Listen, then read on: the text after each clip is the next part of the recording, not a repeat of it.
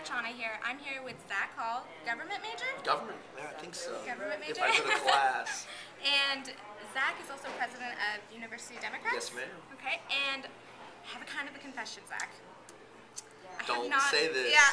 Don't say this. I have not registered to vote. Wait a second. Do you realize what time it is? I know, I Do have. You, okay. I have until midnight tonight, right? For those at home watching, it is like almost 9 o'clock. She's got, how many hours is that? 9, 10, 11. You got three hours Three left. hours.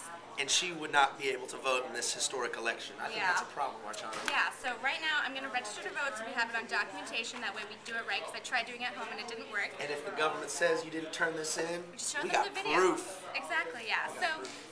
While I fill this out, why don't you talk to the audience Yeah. a little bit about why you feel it's important that the like the college market, why they should vote this year? Absolutely. I mean, I, you know, if I can just say, I mean, young people are voting in unprecedented levels, and during the primaries, uh, 600,000 young people came out to vote for the first time. Right. And that was the that was on the state of Texas alone. That tripled youth voter turnout in a primary, when usually young people aren't paying attention. And it's just unbelievable. I mean, we see it here at UT, where today we registered 5,000 students to vote in one day at the University of Texas campus. Wait, is that at Hook the Vote? That's Hook the Vote. We registered 5,000 people. Um, we've never done something like that before.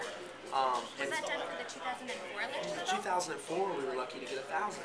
Really? Um, back during the, the primary, back during March, when Hillary and Obama were going at it, we registered 2,000 in one day. Okay. So this is, I mean, almost what is that? You know, more than doubling the amount um, of people that we register in one day, and that doesn't count what we've been doing for months. Right. Um, so it's really just unbelievable the, the kind of momentum that we're seeing. Young people, you know, the reason I think young people are so engaged are, you know, they look at their tuition bills, they see tuition's gone up 64% at the University of Texas in the last four years.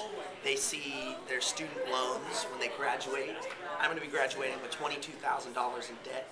Um, you know, goodness. you know, they see that there's a lot of it's not easy to be a student. No, There's a lot of students working. There's a lot of students doing what they're doing. Having to pay their and they don't want to Exactly. leave college with a bunch of loans. Exactly, and so I think young people are standing up and they're saying enough is enough, and they're voting for leaders that pay attention to their issues. They're voting for leaders that come to them and say, "I'm going to work for you," rather than saying, "You have to come to me and you know earn it." We're going to do both, and that's why it's important that we register voters. Right. Now, I know you're University Democrat president, but what do you think of both the candidates Oh, this year? yeah, I was worried. I was like, I, okay, we can go to that. Um, I mean, obviously, I worked on the Obama campaign um, back during the March primary, so I'm a fervent supporter. I have been for months. Um, Barack Obama's my boy. Um, you know, Have you met him I have. I did. I've met him twice. Um, I met him back at a, a rally in Austin we had for him here in Austin, and I actually got to go to the airport to greet him um, when he was. I guess it wasn't greeting to say goodbye. I don't know how to explain it, but Yeah. A few of the staffers were like, "Come with us," and I loaded luggage onto his plane. That's what I had to do in order to get to meet Barack Obama. But it was cool. I mean, it's, it's the next president of the United States. Um, Well, but maybe. I Nothing, think nothing's certain you know, we'll come back. I'm gonna look at this in a couple months. I'm gonna say, "I told you so." I'll eat my words. I think you know, I, I I look at this race and I look at the debates, and I just can't. I mean, I, I don't know I can say these sorts of things, but I just couldn't imagine voting for the opposite side. I don't know.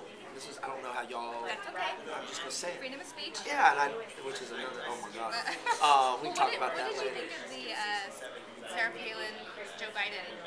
The debate. Yeah. What do you think? That's my question. Well, I was in class, so I had to watch the Twitter updates. Are you kidding Yeah, me? I had class until You watch Twitter updates on it? Of course, election.twitter.com, plugging for that, election.twitter.com. Yeah, and so people can, like, if you type in the box there, people's uh, updates can show up. That is so cool. Yeah, you should check it out. I'm gonna go check that out. Yeah. Um, well, so I finished Okay. everything. Yeah. So are you? Uh, No, not everything. Well, no. So I, it's in my You bag. gotta look it up? Yeah, Okay. yeah. But You're uh. You're almost there. that, I finished it. I got my thing. Um, Zach, are you a deputy registrar? I am a deputy registrar. Can you sign it? Yes, even of though I course. okay. Let me sign it. Score. Let me make sure you got everything correct. You are a new applicant. Yeah, I've never registered. Voting in Austin. Yes. All right. I'm from Austin. You know all about. You know what? I'm gonna sign it right here. Okay. And I've got to give you your receipt. Let me tell you about your receipt. Um, this right here, the receipt, is very important because because you registered to vote so late, Okay. only three hours to go. Now you're almost a little bit less. Um, you're good though, darling, because you are registered to vote. What I'm doing right now is I'm giving you, I'm giving you basically your voter registration card. Right. Um, you are registered to vote, so I'm going to sign this, and I'm going to date this. Okay. And what you do is you take this, fill out the rest of the information when you get home, Okay. put it somewhere safe where you're not going to lose it. Right. And when you go to vote for early voting, and which is important because the lines are going to be long. When does early voting start? Early voting starts on October 20th Okay. and runs to Halloween. Okay. Um, and on October 20th, if you go to vote, you can go to the FAC on campus. It could not be easier for you.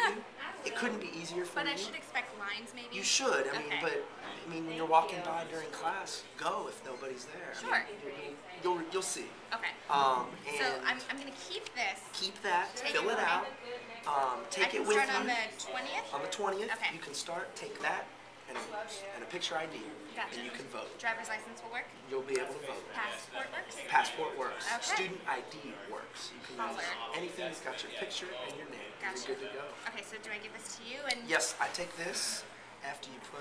after I put my driver's license number on there, I have to. it up It's in my purse. She'll look it But uh, yeah, I'm registered to vote, and I will be there October 20th at the FAC. Absolutely.